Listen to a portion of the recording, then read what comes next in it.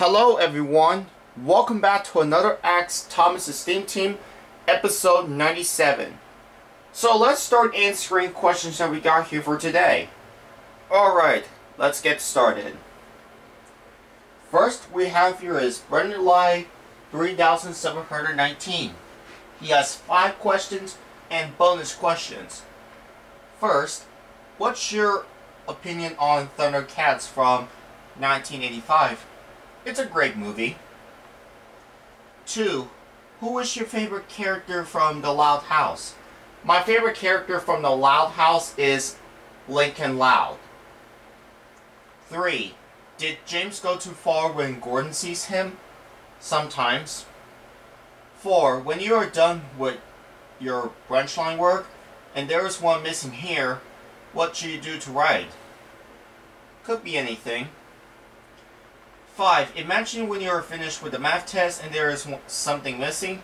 How should you do to go with? Well, if you're missing with something, could be like a pencil, could be like a paper to could be like could be anything.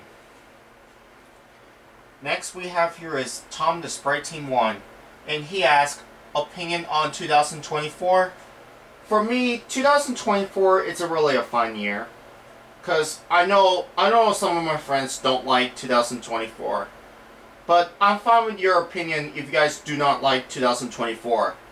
But for my opinion 2024 it's it's a fine year.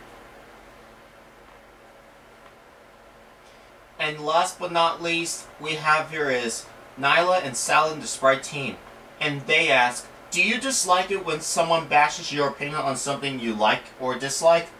Absolutely, I do. I'm getting really tired of those those someone bashing my opinions on some some of the things I like and I don't like. But I'm just going to ignore them from now on.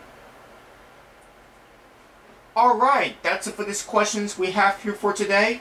If you have more questions to ask me, feel free to post comments below. If you are new to this channel, feel welcome to subscribe to me. We're almost there at 1,000 subscribers. But anyways, this is Thomas. See you later. Goodbye.